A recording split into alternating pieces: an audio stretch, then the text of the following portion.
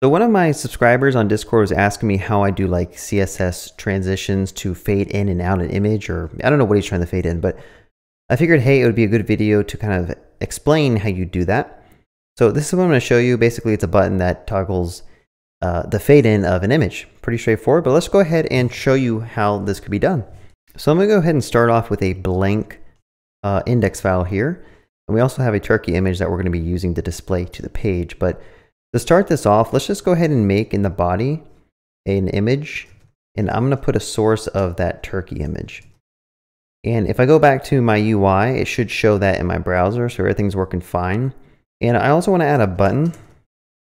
And that button could say like toggle turkey. So now we have a really small toggle turkey button. I want to make it a little bit bigger so we can actually see it. So on the button itself, let's just give it some padding of like 20 pixels and a font size of let's say like 30 pixels and see if that makes it a little bit bigger.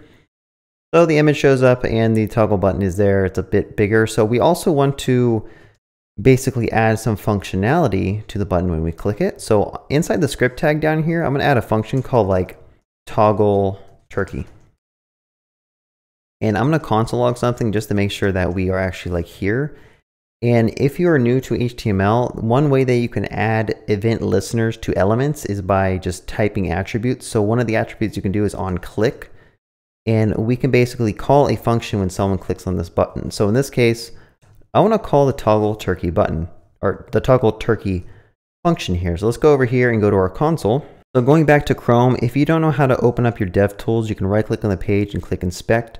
Or I think you could do like command option J but regardless, let's go ahead and click on toggle turkey and make sure that it actually like prints out a something in the console here, which it did.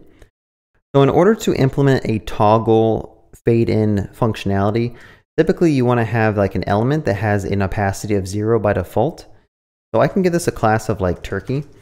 And let's also give it an ID of turkey so we can target it later on. And inside the styling up here, I'm going to go ahead and just give that turkey an opacity of zero.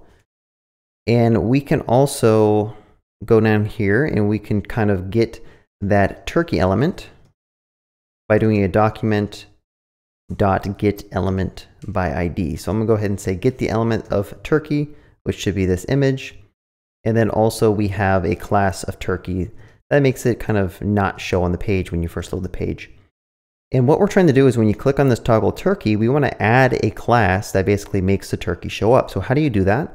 Well, we have a reference to the turkey element here, and we can do turkey.classlist. This is just a an object that has a couple of functions on it that you can basically add or remove classes from DOM elements. And I'm going to say toggle, I'm going to say fade in. So when I click on this button, it should add a fade in class to this turkey image. Let's go ahead and open up the elements tab here and click on the toggle turkey. And you'll notice that the turkey has a fade in class attached to it. Okay, so now we can actually style a fade in class, or we can define a fade in class.